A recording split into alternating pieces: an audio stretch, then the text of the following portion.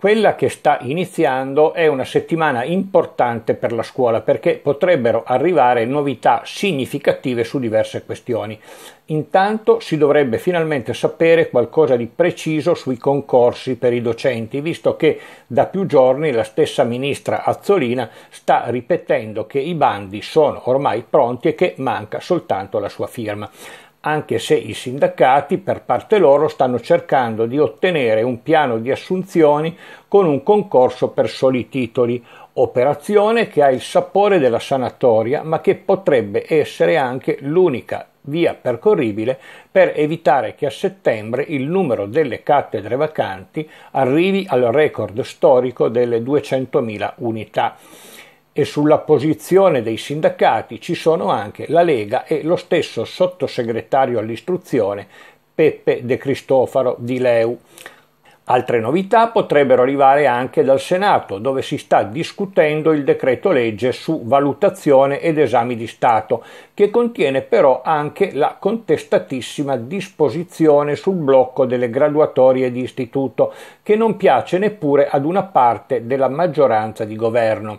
e non a caso su questo la ministra ha già detto che il Parlamento è sovrano e che non è un dramma se deputati e senatori dovessero decidere di modificare anche radicalmente la norma voluta da lei.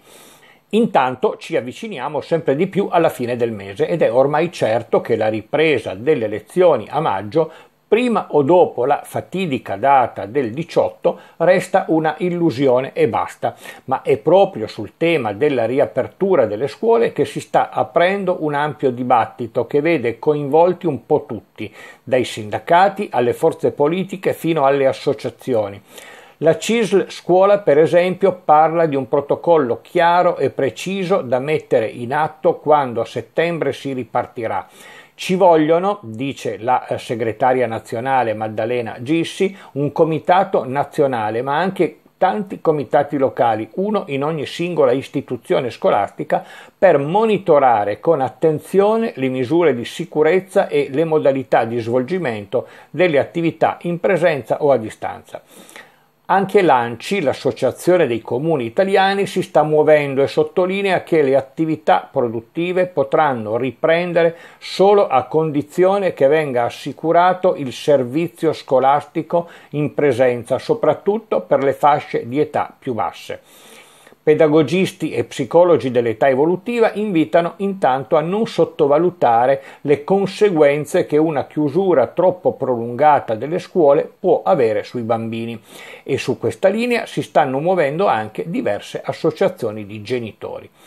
Il tema è delicato e complicato. La soluzione potrebbe arrivare forse dalla task force di più di 100 esperti che la ministra Azzolina ha deciso di attivare per ottenere proposte e suggerimenti sui numerosi problemi sul tappeto. Ovviamente il tema è di grande interesse per tutti, quindi continueremo a tenervi informati su questo canale, voi continuate a seguirci, ma seguiteci anche sulla nostra testata www.tecnicadellascuola.it, soprattutto continuate a scriverci, a mandarci le vostre osservazioni, i vostri eh, interventi, le vostre proposte, noi ne daremo conto come sempre.